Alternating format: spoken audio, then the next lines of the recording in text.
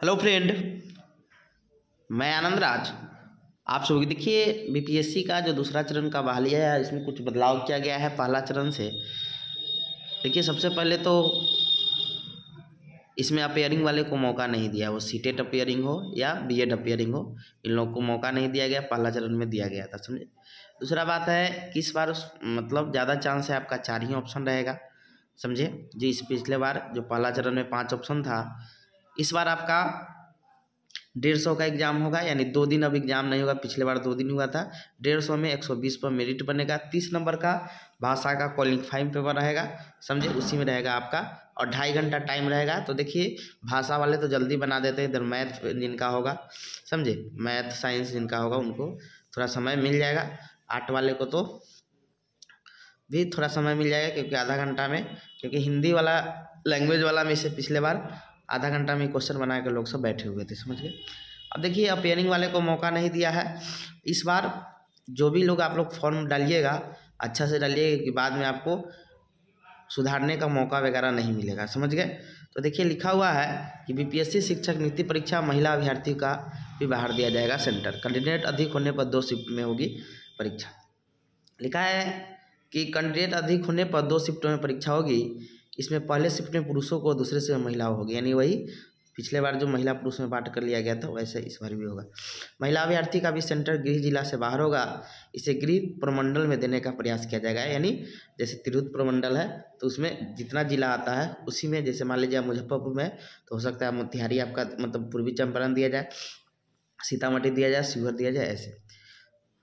हालाँकि कम अभ्यर्थी वाले विषय में ऐसा भी हो सकता है। अपियरिंग कैंडिडेट नहीं दे पाएँगे। परीक्षा में बैठने के लिए वांछित योग्यता चाहे वो बीएड और डीएलएड जैसे प्रशिक्षण संबंधी योग्यता हो, स्नातक और पीजी जैसे योग्यता या सीटेट और स्टेट जैसे योग्यता अभ्यर्थी को 25 नवंबर तक पूरा करना होगा, जो फॉर्म सबमिट करने का अंतिम दिन है। उस दिन तक निर्गत प्रमाण पत्र स्वीकार किए जाएँगे और अपेयरिंग कैंडिडेट परीक्षा नहीं दे पाएँगे। समझ गए? अब बदल गया है ट्राई वेकर का नियम। प्रथम चरण को शिक्षक नियुक्ति में समान अंक आने की स्थिति में पहले आवेदक को उन पर विचार किया जाएगा।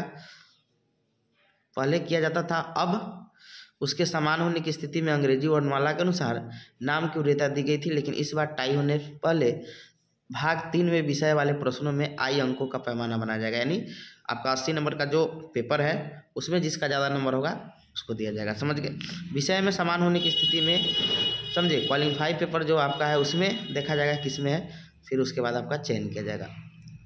अब देखिए, इस बार फॉर्म भरने में कोई गलती नहीं कीजिएगा, ध्यान से भरिएगा। तो फॉर्म सबमिट करने से पहले आवेदक उसमें गलत भरे सूचनाओं को सुधार सकते हैं, लेकिन देने के बाद आवेदक को सुधार करने का मौका नहीं, यानी फाइनल सबमिट कर दीजिएगा, आपको सुधार करने का मौका नहीं मिला। ऐसे में आवेदकों को फिर से नया रजिस्ट्रेशन करना है करना पड़ेगा, यानी आपको फाइनल सबमिट कर दीजिएगा तो फिर उसके बाद आपको दोबारा रजिस्ट्रेशन करना होगा।